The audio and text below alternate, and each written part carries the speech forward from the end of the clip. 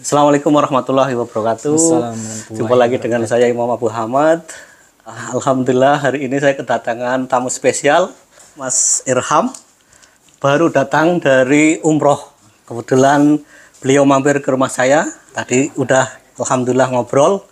Dan mumpung beliau masih di sini dan masih fresh from the oven, uh, saya ingin tanya-tanya tentang uh, bagaimana sih umroh ke Saudi sekarang karena yang saya baca itu hmm. ada peraturan, ada hmm. uh, aplikasi yang harus di-download hmm. atau kalau dulu yeah. kan pengalaman saya itu kalau mau ke Raudhoh gitu ya, yeah. nunggu jam 11 12 malam kalau udah nggak nggak uh, rame, nggak rame baru hmm. itu. Nah sekarang itu katanya harus pakai uh, aplikasi. Nanti mohon aplikasinya dijelasin. Betul. Terima kasih Mas Irham udah datang ke tempat kami, ke rumah kami, dan saya doakan semoga umrohnya mabrur, mabrur. Amin ya, ya. Mumpung masih di sini, saya ingin Mas Irha, uh, Irham menceritakan bagaimana hmm.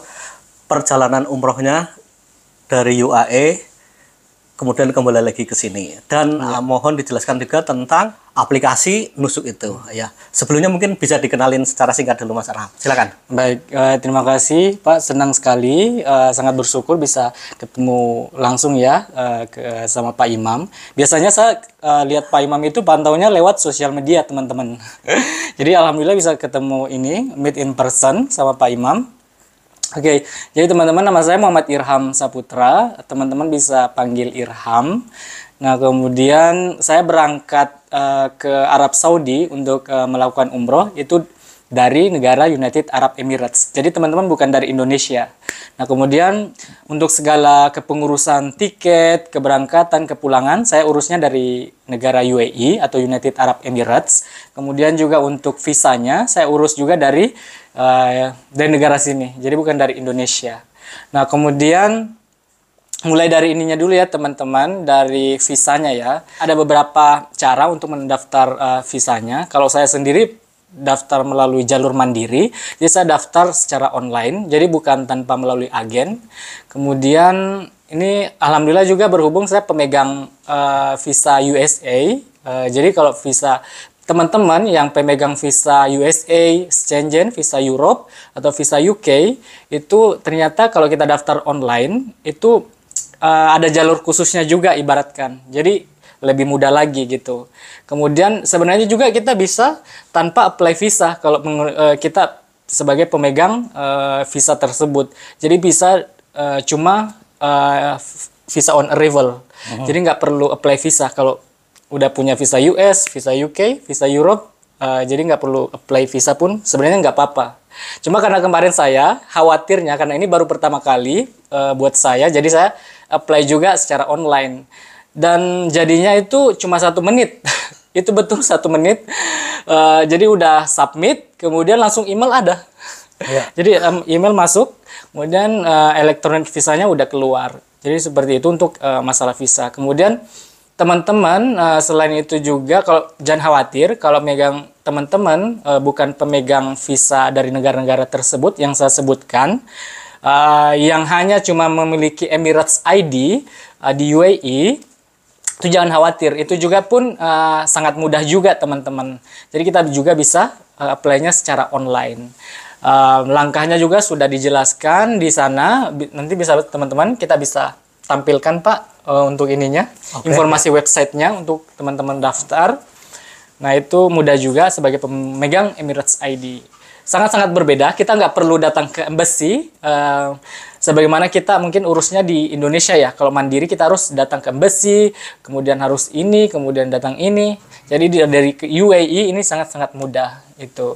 Nah, habis visa semuanya sudah beres, kemudian saya beli tiket jadi tiketnya untuk keberangkatan itu dari Dubai teman-teman. Dubai kemudian rutenya berhubung uh, saya pilihnya rutenya kemarin Dubai Madinah. Madinah kurang lebih empat hari. Kemudian uh, dari Madinah uh, kemudian pergi umroh ke Mekah itu um, kurang lebih cuma tiga hari di Mekah. Kemudian setelah saya melaksanakan uh, umroh di Mekah di Masjidil Haram.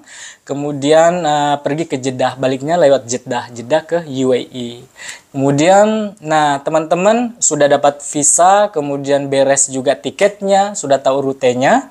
Kemudian di dalam visa itu sebelum kita uh, berangkat ke Arab Saudi, jadi ada seperti Pak Imam sebutkan uh, tadi itu kalau baru-baru ini pemerintah Arab Saudi uh, menerapkan jadi kita semua wajib untuk uh, mendaftarkan diri kita uh, terlebih dahulu di aplikasi tersebut. Uh, jadi uh, lebih terdata nantinya. Kemudian untuk menghindari juga uh, berdesak-desakan, kemudian jadi uh, lebih terdata kalau misalkan kita melalui aplikasi ini. Aplikasinya namanya Nusuk. Uh, jadi uh, di sini saya sudah ada aplikasinya ya di ya di handphone saya. Ini bisa teman-teman lihat.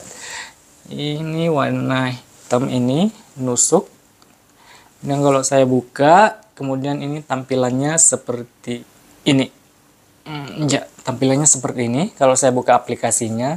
Namun teman-teman setelah download, jadi perlu diinformasikan, jadi tidak bisa langsung masuk ke aplikasi ini. Jadi harus masuk, jadi kita harus input nomor visa kita terlebih dahulu. Jadi tanpa visa, tanpa nomor visa yang kita uh, dapatkan dari visa tersebut, itu tidak bisa masuk ke aplikasi ini. Ya udah dapat visa dulu, masukkan nomor visanya, baru tampil seperti ini. Uh, kembali lagi saya tegaskan bahwa ini uh, bagi teman-teman yang udah bekerja di Uni Emirat Arab punya residen visa, kita bisa apply mandiri, kita hmm. bisa apply kalau kita apa gaptek, kita bisa juga uh, apa minta ke agensi bayar uh, aplikasi visa. Hmm. Uh, kalau mau terus sama uh, agensi juga bisa termasuk booking hotelnya dan lain-lain bisa sekalian itu kalau biasanya pakai bis di, dari sini ya uh, sekitar oh. 1250 dirham mm -hmm. 10 hari kemudian kalau mau cuma bikin visitnya doang uh, tiketnya mau pribadi pribadi gitu. bisa sendiri dan ini oh, salah satu keuntungan kita bekerja di Uni Emirat Arab hmm. bahwa kita sangat dekat lah dengan Saudi satu jam setengah hmm. atau dua jam ya kalau tergantung dua uh, jam dua jam ya, ya. Uh, pesawatnya kemudian juga ada informasi ini kalau yang dari Abu Dhabi ada uh, penerbangan murah itu nah, oh. pakai Wizz Air itu kalau dari Abu Dhabi Madinah itu bolak-balik cuma 400 dirham. Kadang kalau special offer 200 dirham udah bolak-balik. Di Indonesia kan ya. kurang lebih berapa tuh, Pak? uh, se 2 juta dirham. ya, 1 ya. juta 600, ya, ya, 2 juta gitu. lah. Iya.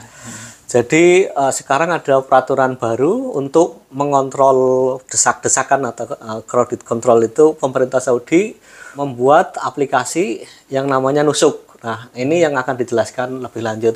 Apa sih kegunaan uh, Nusuk itu, Pak? Mungkin dijelasin dulu. Oke, okay.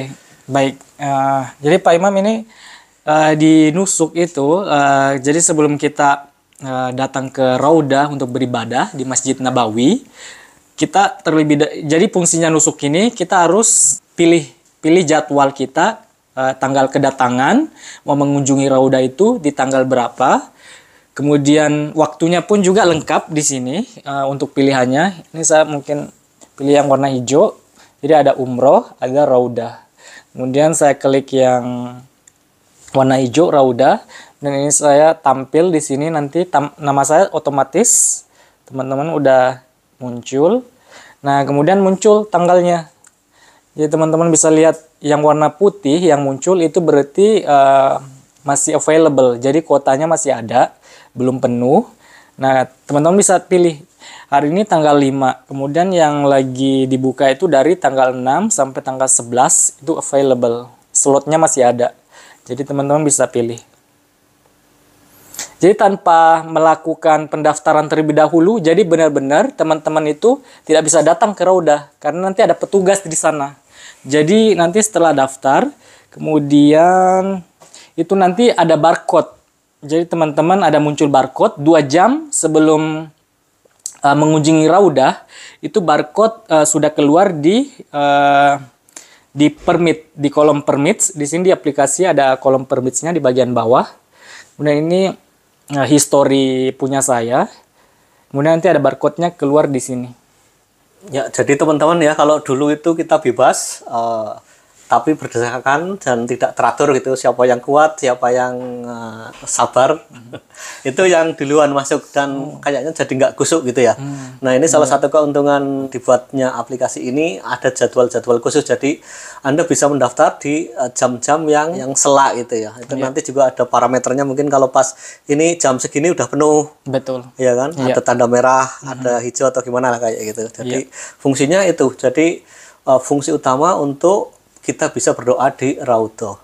Yang saya mau tanyakan itu aplikasinya gampang isinya Pak atau susah? sangat mudah Sangat mudah. jadi lebih mudah lebih praktis jadi tentunya teman-teman punya smartphone ya eh, semuanya jadi kalau udah bisa daftar Facebook daftar sosial media tentunya ini malah lebih mudah lagi Lebih mudah lagi. Iya. Oke. Jadi wajib untuk semua yang ingin ke Raudhah gitu. sangat wajib karena nantinya di scan Betul dicek semuanya satu-satu. semuanya dicek satu-satu. Jadi nanti petugas di sana jadi mengarahkan kita, kemudian membuat eh, barisan, jadi barisan. Kemudian petugasnya sudah ada pegang scanner, jadi tunjukkan eh, barcode yang muncul di HP kita, kemudian di scan eh, dari petugasnya. Oke, saya dengar informasi juga ini betul atau enggak dikonfirmasi bahwa kalau udah kita apply untuk janjian di Raudhah cuma bisa dapat sekali dalam satu tahun. Eh, kalau eh, masalah informasi itu saya belum tahu. Pak. Ini iya, ini kalau belum berarti saya saya jelasin ya. Ada teman pengalaman kemarin baru pulang umroh juga. Kalau misalnya kira-kira nanti malam saya ingin ke, ke Raudhah gitu ya. Nah, berarti baiknya apply se- sehari sebelumnya. Kalau memang nggak yakin mau datang atau enggak jangan apply karena kesempatan untuk ke Raudhah itu eh, dibatasi. Kalau udah apply sekali eh, kemudian nggak datang nggak bisa apply lagi tuh. Hmm, Oh, jadi setahun sekali ini. Tapi uh, informasi ini saya baru dengar dari teman, belum tahu konfirmasi. Tapi kayaknya seperti itu. Mereka setelah uh, ada dua orang orang India dan Pakistan, kemudian dia udah apply, kemudian uh, waktu itu jamnya jam 10, kemudian dia nggak bisa. nggak datang. Ya nggak datang. Kemudian apply lagi, itunya error, error, error, error. Kemudian ada yang nanya, uh, memang kalau udah satu kali, udah nggak bisa. Apply-nya tahun depan aja gitu. Jadi ini kesempatan emas ya. Jadi perhatian untuk teman-teman kalau memang uh, misalnya udah menentukan jadwal ya hari sehari sebelumnya. Jangan kalau nanti ragu-ragu mau datang enggak, jangan apply dulu. Mungkin itu aja. Iya. Iya.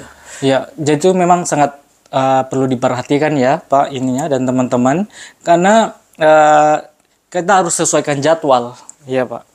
Tapi um, kemarin uh, saya pengalaman, jadi saya cancel. Jadi bukan nggak datang, tapi saya cancel terlebih Ah, iya, dahulu. kalau cancel Iya. bisa, iya. Mhm. Cancel bisa. Kemudian kalau masalah yang apa namanya hanya satu kali saja, itu masih saya belum saya sendiri belum tahu Pak. Mungkin bisa dijelasin ya, yang sedikit rinci berapa sih biaya umroh dari UAE ke Saudi lebih murah atau dibandingkan dengan di Indonesia? gitu? Oh, eh, tentunya teman-teman lebih murah ya.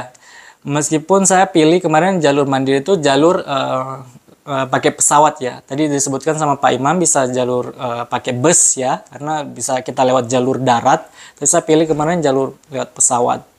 Kemudian perbandingannya sangat-sangat jauh. Kalau misalkan kita di sini di dalam rupiah ya, mungkin aku sebutin mungkin pesawat, kemudian visanya, akomodasinya, kemudian makanannya, kemudian ya biaya-biaya tak terduga kalau dikalkulasikan. Kalau di Indonesia mungkin em, baca-baca nih Pak, ada mungkin udah ada yang 35 juta, 32 juta, 30 juta.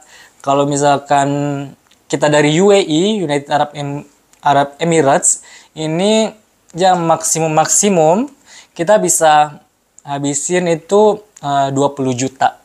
itu udah termasuk sama makan sama hotel. Iya. Apalagi kalau perginya sama teman-teman ya, ada beberapa orang, mungkin satu orang sharing, ada sharing, sharing cost kita, ya gitu. Tuh bisa di-press lagi bisa jadi 15 juta, apalagi kalau mungkin lewat bus lebih murah lagi ya, Pak. Oke, iya. iya. Oke, terima kasih atas informasinya. Kemudian ada satu lagi update baru saya baca kemarin, mungkin Bapak baca nggak? Bahwa pemerintah Indonesia itu eh, melarang umroh backpacker. Baca belum? Ah, itu itu lagi trending ya, Nah, ini- teman-teman ya. Eh, gimana nasib teman-teman yang at- itu berlaku dari Indonesia aja atau ini kan ada saya ko- punya komunitas backpacker yang juga melakukan umroh gitu.